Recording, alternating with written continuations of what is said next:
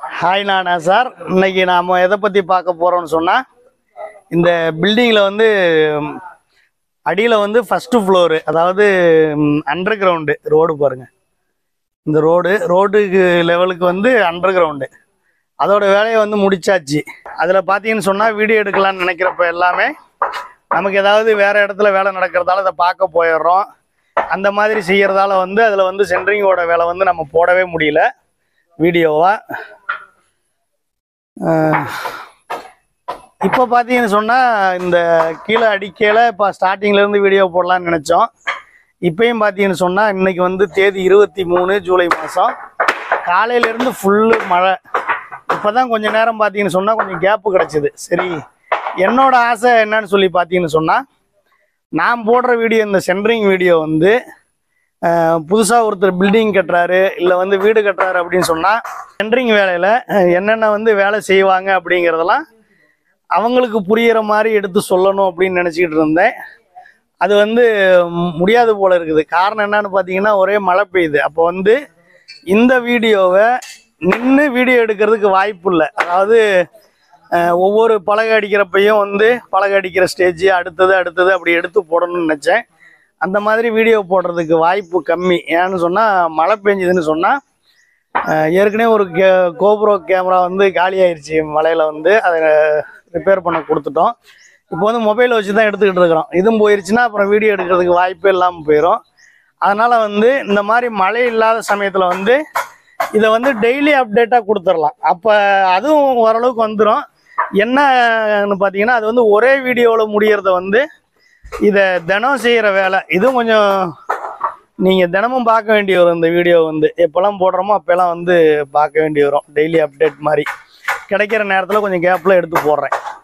இப்போ வந்து பார்த்தீங்கன்னு சொன்னால் ஒரு வீடோ அல்லது பில்டிங்கோ அதில் அடிக்கக்கூடிய சென்ட்ரிங் வந்து ஸ்ட்ராங்காக அடிக்கலை அப்படின்னு சொன்னால் நிறைய வீடியோ நம்ம பார்த்துருப்போம். ஃபெயிலியர் வீடியோ வந்து. என்னன்னு பார்த்தீங்கன்னா அந்த மேலே காங்கிரட்லாம் போட்டதுக்கப்புறம் பார்த்தீங்கன்னா அது வந்து சரிஞ்சிரும். மொத்தமாக சரியறது இருக்குது. இல்லைன்னா வந்து ஒரு இடத்துல மட்டும் இறங்கிரும். ஒரு இடத்துல இறங்குச்சின்னு சொன்னால் அந்த இடத்துல வந்து குழியாக இருக்கும். காங்கிரட் வந்து அதோட லெவல் பண்ணுறப்ப அடியில் வந்து புஷ்ஷு மாதிரி வந்துடும் அப்போ வந்து பார்த்தீங்கன்னு சொன்னால் அந்த இடத்துக்கு வந்து தேய்க்கிறப்ப அதுக்காக வந்து ரெண்டு இன்ச்சு திக்னஸ்லாம் வந்து பிளாஸ்டர் பண்ணுற மாதிரி இருக்கும். அப்போ அதுக்கு பார்த்தோன்னு சொன்னால் இதில் ஒரு ஒரு தவறு இந்த சென்ட்ரிங்கில் நடக்கிறத வச்சு இந்த மாதிரி வந்து பூச்சி வேலையில் வந்து அதிகமான சிமெண்ட் செலவாகும் எம்சாண்டு செலவாகும். அதே மாதிரி வந்து லேபர் சார்ஜ் வந்து செலவாகும். சீலிங்கும் பார்க்கறதுக்கு வந்து நல்லா இருக்காது. அப்போ இதில் மெயின் வந்து ரூஃப்னு எடுத்துக்கிட்டோம்னா அது எவ்வளவுக்கு எவ்வளவு சென்ட்ரிங்கில் வந்து ஸ்ட்ராங்காக நம்ம செய்கிறோமோ அந்த அளவுக்கு தான் வந்து அதில் வந்து அதுக்கு பின்னாடி வரக்கூடிய செலவுகளும் மிச்சமாகும். அது இல்லாமல் வந்து ஒரு மன தைரியத்தோட நாமளும் ரூப்பு போடுறப்போ ஒரு பயம் இல்லாமல் இருக்கலாம். அப்போ இங்கே வந்து வேலை செய்கிற ஆளுங்கள்லாம் பார்த்தீங்கன்னு சொன்னால் ஒரு பதினாலு வருஷம் அனுபவம் உள்ளவங்க பத்து வருஷம் அனுபவம் உள்ளவங்க அந்த மாதிரி உள்ளது தான் நாம் என்ன செஞ்சுருக்கோம்னா இங்கே ஏற்பாடு பண்ணி நம்ம அடிச்சுட்டு இருக்கிறோம். ஏற்கனவே வந்து இங்கே வந்து மூணு மேசன் வேலை செய்கிறாங்க அவங்களும் அனுபவம் உள்ளவங்க தான் மூணு ஹெல்ப்பர் வேலை செய்கிறாங்க அவங்களும் அனுபவம் உள்ளவங்க தான். இப்போ வேலை செய்கிற நேரத்தில் அவங்கள தொந்தரவு படுத்த வேணாம்னு சொல்லி நினைக்கிறேன். எதாக இருந்தாலும் இந்த ரூஃப் மட்டும் காங்கிரட்டு போடுறதுக்கு முன்னாடியே அவங்கள எல்லாருமே கூப்பிட்டு நாம் அறிமுகம் பண்ணி வச்சுருவோம். அதே மாதிரி பார்த்தீங்கன்னு சொன்னால் இந்த ஆரம்பத்தில் இருந்தே இதை ஸ்ட்ராங்காகவே கொண்டு போயிட்டு இருக்கணும். அப்போ அந்த ஸ்ட்ராங்காக கொண்டு போகிறாங்களா அதுக்காக இங்கே என்ன செஞ்சு வச்சுருக்காங்க? அப்படிங்கிறத பற்றி நாம் இந்த வீடியோவில் பார்ப்போம். இப்போ நாம் இந்த பில்டிங்கில் வந்து போட போகிற காங்கிரீட் வந்து ஆளு போடுறதுல வந்து என்ன செய்வாங்கன்னு சொன்னால் ஒவ்வொரு சட்டி சட்டியாக கொண்டு வந்து கொட்டுவாங்க. அதில் கொஞ்சம் ஸ்ட்ராங்கு கம்மியாக இருந்தால் கூட ஒரு அட்ஜஸ்ட்மெண்ட் பண்ண முடியும். இப்போ இந்த பில்டிங்கில் நாம் போட போகிறது வந்து ஏற்கனவே நம்ம போட்டிருப்போம். ரெடிமிக்ஸ் காங்கிரீட் தான் எம் டுவெண்ட்டி கிரேடு தான் போட போகிறோம் அப்போ அதில் என்ன செய்யணும்னு சொன்னால் பைப்பு ஒரு லோடு இருக்கும். பைப்பு பக்கத்தில் வந்து ஒரு அஞ்சு பேர் தாங்கி நின்று அதை பிடிச்சி ஒர்க் பண்ணுவாங்க. அது இல்லாமல் ரெண்டு மூணு ஆள் வந்து லெவலிங் பண்ணுவாங்க. வைப்ரேட் மிஷின் போடுறதுக்கு ரெண்டு ஆள் நிற்பாங்க ஒரு இடத்துல கிட்டத்தட்ட பார்த்தீங்கன்னு சொன்னால் ஒரு பத்து பேர் பக்கம் நின்று வேலை செய்வாங்க.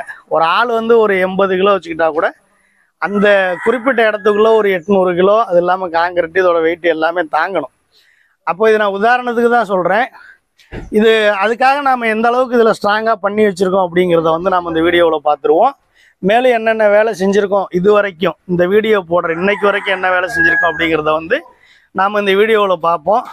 யாராவது நம்ம சேனலுக்கு புதுசாக வந்திருந்தீங்கன்னு சொன்னால் நம்ம சேனலை வந்து சப்ஸ்கிரைப் பண்ணிக்கோங்க லைக் பண்ணுங்கள் ஷேர் பண்ணுங்கள் உங்களுக்கு ஏதாவது சந்தேகங்கள் இருந்ததுன்னு சொன்னால் அதை கமெண்ட் பாக்ஸில் வந்து பதிவிடுங்க. அந்த விள அந்த- அந்த சந்தேகத்துக்கான விளக்கத்தை வந்து நான் கொடுக்குறேன். வாங்க வீடியோக்குள்ளே போகலாம்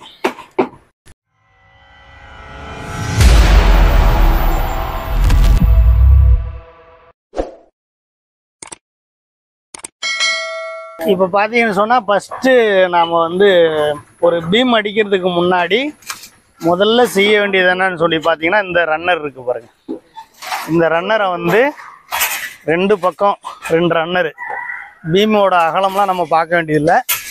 பொதுவாக வந்து இந்த மாதிரி ரெண்டு ரன்னரை வந்து நம்ம என்ன செஞ்சிடணும்னா இந்த பீஸை வச்சு ஃபஸ்ட்டு அடிச்சிடணும்.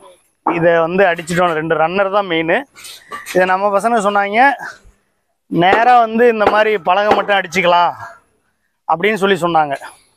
அது வந்து நான் வந்து ஏற்றுக்கல என்ன காரணம்னு சொல்லி பார்த்தீங்கன்னு சொன்னால் இந்த மாதிரி பலகை மட்டும் அடித்தோன்னு சொன்னால் லோடு ஓவர் ஆகிறப்போ வந்து இந்த இடம் பள்ளமாகும். பழக சரியில்லைன்னு சொன்னால் அந்த இடம் வந்து பள்ளமாகும். அப்போ அது வந்து என்ன ஆகும்னா பின்னாடி வந்து பிரச் பிரச்சனை ஆயிரும். அதனால் வந்து நேரடியாக பழக அடிக்கக்கூடாது. அடியில் வந்து இந்த மாதிரி ரன்னர் அடிச்சுட்டு அதுக்கப்புறம் இந்த பீஸ் அடிச்சுட்டு அதுக்கு மேலே தான் இந்த பீமுக்குள்ளே பாட்டத்தோட பலகை அடிக்கணும்னு சொல்லி நாம் சொல்லிட்டேன். இப்போ இது பார்த்தீங்கன்னா தெரிஞ்சிடும் முதல்ல வந்து ஒரு ரன்னர் ரன்னரு ரன்னருக்கு அப்புறம் பார்த்தீங்கன்னு சொன்னால் இந்த மாதிரி ஒரு பீஸ் பீஸுக்கு அப்புறம் பீஸுக்கு அப்புறம் பார்த்தீங்கன்னு சொன்னால் நமக்கு வந்து எத்தனை சென்டிமீட்டர் நமக்கு கொடுத்துருக்கோமோ அத்தனை சென்டிமீட்டருக்கு இல்லைன்னா அத்தனை இன்ச்சுக்குள்ளே ஒரு பீமோட பாட்டம் பலகை. இது வந்து ஒம்பது இன்ச்சு பலகை பாட்டம். நம்ம வந்து ஒம்பது இன்ச்சில் பீம் போட போகிறோம் அதனால் ஒரு ஒம்பது இன்ச்சு பலகை வந்து நாம் பாட்டத்துக்கு அடிச்சிட்டோம். பீமோட பாட்டத்துக்கு அடிச்சிட்டோம். இது வந்து பீமுக்கான பாட்டம் ரெடி பண்ணியாச்சு. இப்போ அதை நிறுத்துறதுக்கு பார்த்தீங்கன்னு சொன்னால் இந்த மாதிரி வந்து நாம் உபயோகப்படுத்திருக்கிறது வந்து பார்த்தீங்கன்னா ஃபுல்லாக ஜாக்கி. இந்த ஜாக்கியை வந்து உபயோகப்படுத்தியிருக்கிறோம். ஜாக்கி வந்து உபயோகப்படுத்துறதுல என்ன பிரயோஜனம்னு பார்த்தீங்கன்னு சொன்னால் இதில் வந்து மரம் இருக்கும். ஒரு சென்டிமீட்ரு அதாவது ஒரு இன்ச்சு ரெண்டு இன்ச்சு மூணு இன்ச்சு இல்லை ரெண்டு சென்டிமீட்ரு மூணு சென்டிமீட்டர் அஞ்சு சென்டிமீட்டர் எவ்வளவு தேவையோ அவ்வளோ நம்ம ஏற்றவும் செய்யலாம் இறக்கவும் செய்யலாம். ஆனால் பைப் மூட்டு யூஸ் பண்ணோன்னு சொன்னால் அந்த மாதிரி ஏற்றவோ இறக்குறதுக்கோ ரொம்ப சிரமமாக இருக்கும். அப்போ பார்த்தீங்கன்னு சொன்னால் ஃபஸ்ட்டு அடிக்கலை. இந்த மாதிரி ஜாக்கியை கொடுத்து ஜாக்கிக்கும் பலகை அடிக்கணும். ஜாக்கிக்கு வந்து பலகை அடிச்சு விட்டு அந்த பலகையில் வந்து நாம் என்ன செஞ்சுருவோம்னா அந்த ரன்னரை ஃபிட் பண்ணிடுவோம் ரன்னரை ஃபிட் பண்ணதுக்கப்புறம் சொல்லி பார்த்தீங்கன்னா அதோட பாட்டம் பலகையை வந்து நாம் ஃபிட் பண்ணி வச்சுருக்கோம். இது ஃபஸ்ட்டு கண்டிஷன் இப்போ இதில் வந்து நமக்கே தெரியும். இப்போ பாருங்கள் இது வந்துட்டு டோட்டல் வந்து ஆறு மீட்ரு நீளம். இந்த பில்லர்லேருந்து அந்த பில்லர் வரைக்கும் வந்து ஆறு மீட்ரு நீளம். ஆறு மீட்ரு நீளத்துக்கு வந்து மேக்சிமம் நம்ம என்ன செய்யணும்னு சொன்னால் ஒரு ரெண்டு அடிக்கு ஒரு ஜாக்கி வந்து கொடுத்துட்டோம்னு சொன்னால் ஈஸியாக இருக்கும். இப்போ இந்த லைனில் பார்த்தீங்கன்னு சொன்னால் மூணு ஆறு ஒம்பது பத்து இருக்குது. அதாவது நம்மளோட பில்லர் வந்து பார்த்தீங்கன்னு சொன்னால் ஐம்பது ஐம்பது சென்டிமீட்டர் ஒரு மீட்ரு போயிடும் மீதி வந்து பார்த்தீங்கன்னு சொன்னால் அஞ்சு மீட்ரு நமக்கு உள்ள அளவு. இந்த அஞ்சு மீட்டருக்குள்ளே பார்த்தீங்கன்னு சொன்னால் ஒரு பத்து ஜாக்கி நம்ம கொடுத்து வச்சிருக்கிறோம். அப்படி பக்கம் பக்கமாக நம்ம கொடுத்தா தான் ஒரு ஐம்பது சென்டிமீட்டர் கணக்கில் கொடுத்து வச்சுருக்கோம் ஏகதேசம். அப்படி கொடுத்துட்டோம்னு சொன்னால் தான் அடிக்கணக்கில் ஒரு ஒன்றரை அடி ஒரு இன்ச்சு ரெண்டு இன்ச்சு கூட வரும். அப்படி கொடுத்தாதான் நமக்கு வந்து ஃபுல் லோடு தாங்கும். இப்போ வந்து ஜாக்கி கொடுத்தாச்சு ரன்னர் கொடுத்தாச்சு பாட்டம் சீட்டு கொடுத்தாச்சு. இதை வந்து நம்ம பார்த்துட்டோம். இதுக்கு அடுத்த கட்டமாக என்ன செய்கிறோம்னு சொல்லி பார்த்தீங்கன்னு சொன்னால் நம்ம வந்து பீமுக்கான பலகை வந்து நாம் வந்து அடிச்சுட்டு இருக்கோம். பீமோட அளவு என்னன்னு சொல்லி பார்த்தீங்கன்னு சொன்னால் இந்த இடத்துல வந்து நாற்பது சென்டிமீட்ரு அந்த ரூஃபு ஸ்லாப்பும் அடக்கம் வந்து நமக்கு நாற்பது சென்டிமீட்ரு அப்போ அந்த நாற்பது சென்டிமீட்டரோட பாட்டம் பீமுக்கான சைடு பலகை அடிக்கலாமான்னு அடிக்கக்கூடாது. அதில் வந்து பன்னெண்டரை சென்டிமீட்டர் வந்து நமக்கு ஸ்லாப் திக்னஸ் அப்போ ஒரு இருபத்தெட்டு சென்டிமீட்டர் இல்லைன்னா ஒரு இருபத்தி ஏழு சென்டிமீட்டரில் வந்து நாம் சைடு பலகை அடிக்கணும். அதுக்கு மேலே வந்து நம்ம மற்ற சீட் அடிக்கிறதுக்கான மற்ற வேலையெல்லாம் பார்க்கணும். இப்போ வந்து பார்த்தீங்கன்னா அந்த பாட்டம் பலகை அடித்ததுக்கப்புறம் இந்த மாதிரி சைடு பலகை உள் சைடு வந்து சைடு பலகை அடிக்கிறதுக்கான ஃபுல் வேலையை வந்து பார்த்துட்டு இருக்காங்க. இருபத்தி ஏழு சென்டிமீட்ரு பலகை வந்து அடிக்கிறதுக்கான இது பார்த்துட்டு இருக்காங்கப்பா ஆறு இன்ச்சு ஒம்பது இன்ச்சு நாலு இன்ச்சு எத்தனை இன்ச்சு பலகை இருந்தாலும் சரி அது நமக்கு எவ்வளவு தேவையோ அதில் வந்து நாம் அடிச்சிடலாம் சூப்பரா इधर कितना इंच में पड़ेगा मारेगा वो side bottom side seat side का साइड हाँ इस साइड का थर्टी सेंटीमीटर थर्टी डालेगा ना वो ऊपर बा- बारह आएगा ना कितना आएगा हाँ हाँ हाँ बोलो सीट हाँ कलर का टॉप लेवल में सीट का टॉप लेवल आएगा हाँ तो वो अभी ट्वेंटी सेवन है हाँ twenty seven ஆயேகா beam beam twenty seven ஆயேகா அதாவது என்ன சொல்கிறோம் அப்படின்னு சொல்லி பார்த்தீங்கன்னா இந்த பலகையோட ஒரு இன்ச்சு கீழே இறக்கி அடிப்போம் முப்பது சென்டிமீட்டர் நமக்கு வந்து பலகை அதில் மூணு சென்டிமீட்டர் போயிடும் இருபத்தி சென் இருபத்தி இருபத்தி ஏழு சென்டிமீட்டர் வந்து இந்த அளவு வச்சு நம்ம என்ன செஞ்சுருக்கோம்னா சைடு பீமுக்கான அளவு வந்து சைடு வந்து நம்ம அடித்து வச்சுருக்கிறோம் இது வந்து பார்த்தீங்கன்னு சொன்னால் மொத்தம் வந்து மூணு மேசன் மூணு ஹெல்ப்பர் ஆறு பேர் ரெண்டு நாள் செஞ்சுருக்கிற வேலை. இப்போ இது வரைக்கும் தான் செஞ்சுருக்கிறாங்க. அப்போ அது வரைக்கும் நான் வீடியோ போட்டிருக்கிறேன். இது வரைக்கும் வந்து செஞ்சுருக்க வேலை வந்து இவ்வளோ வேலை செஞ்சுருக்கிறாங்க. இதுக்கப்புறம் செய்யக்கூடிய ஒவ்வொரு வேலையும் நேரம் கிடைக்கிறப்ப நான் வீடியோ போட்டுடுறேன் இந்த தடவை வந்து நம்ம முழு ரூப் ஸ்லாப் அதாவது மெயின் ஸ்லாப்னு சொல்லுவோம் நம்ம வந்து மெயின் ஸ்லாப்னு சொல்லுவோம் கேரளாவில். அந்த ரூப் ஸ்லாப் வரைக்கும் என்னென்ன நம்ம வேலைகள் செய்கிறோம் அப்படிங்கிறத வந்து இதை வந்து டெய்லி அப்டேட்டாக கொடுத்துட்றேன். அது வந்து உங்களுக்கு உபகாரமாக இருக்குமா இருக்காதான்னு சொல்லி எனக்கு தெரியல. பயன்படுமா பயன்படாதா அப்படின்னு சொல்லி எனக்கு தெரியல.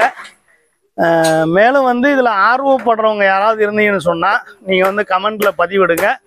நாம் வந்து மேலும் அடுத்து வீடியோ போடுறதுக்கு வந்து கொஞ்சம் நமக்கு வந்து என்ன செய்யணும் ஒரு ஆர்வமாக இருக்கும். மெயினாக வந்து இந்த காங்கிரட்டோட வீடியோ சென்ட்ரிங்கோட வீடியோ வந்து வியூஸ் கம்மியாக தான் போகுது. இருந்தாலும் அது வந்து பிரச்சனை கிடையாது. இருந்தாலும் ஒரு நாலு பேருக்கு பயன்பட்டாலும் அது பிரயோஜனம் தான் அந்த அடிப்படையில் தான் இந்த வீடியோவை போடுறேன் நான். இந்த வீடியோவை நான் இதோட முடிச்சுக்கிறேன். யாராவது நம்ம சேனலுக்கு வந்து புதுசாக வந்திருந்தீங்கன்னு சொன்னால் நம்ம சேனலை வந்து சப்ஸ்கிரைப் பண்ணிக்கோங்க. லைக் பண்ணுங்கள் ஷேர் பண்ணுங்கள் உங்களுக்கு ஏதாவது சந்தேகங்கள் இருந்ததுன்னு சொன்னால் நம்ம கமெண்ட் பாக்ஸில் பதிவிடுங்க. அதே மாதிரி வேற ஏதாவது பில்டிங் சம்பந்தமா வீடுகள் சம்பந்தமா வீடியோ போடணுன்னாலும் அதையும் பதிவிடுங்க. நாம் வந்து அதுக்கான ஏற்பாடுகளை செய்வோம். மீண்டும் அடுத்த ஒரு வீடியோவில் சந்திப்போம். நன்றி.